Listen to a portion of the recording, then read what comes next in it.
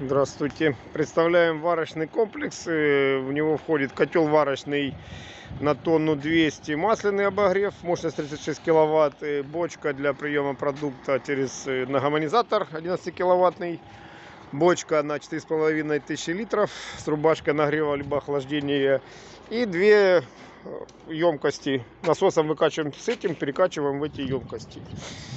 То есть по котлу у нас получается пульт управления, сзади стоят у нас э, краники уровня, заливочно-расширительная воронка, пульт управления. И выход 80 вниз выход на насос, на гомонизатор. То есть насос гомонизатором забирается, идет по малому кругу циркуляция. На крышке у нас стоят кран для подачи, 50 и 3 четверти для воды. Э, Значит, пульт управления сетевая,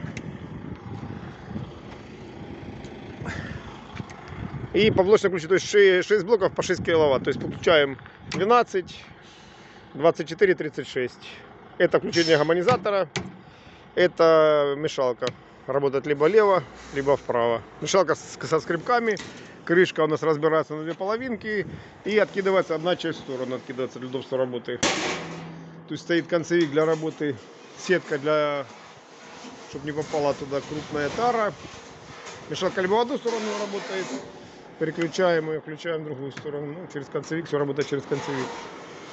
Либо в другую. Мешалка со скребками по низу и по дну. То есть мешалка снимается, крышка разбирается, то же самое снимается. То есть стоит защита по перегреву. При прежней температуре загорится красная лампочка аварии. При достижении заданной температуры загорится эта температура продукта, температура рубашки. Загорится, то есть верхняя при достижении заданной температуры. Так, здесь у нас подвязки 80 слив, 50 для малого круга, для выкачки продукта открыли кран, здесь кран перекрыли, открыли кран для выкачки продукта и пошла с насосом с котла, пошла продукция в котел на 4,5 куба. Здесь у нас стоит и рубашка с возможностью нагрева охлаждения.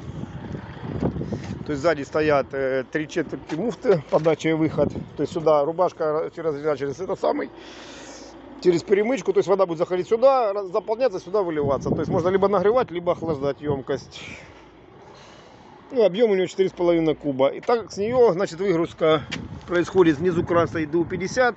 Насосом перекачиваем продукцию в две фасующие емкости. Краном открываем либо одну, половину работает, либо другую. Крышка снимается. Мешалки Одна и вторая симметричные. Кран слива ДУ-50 будет стоять.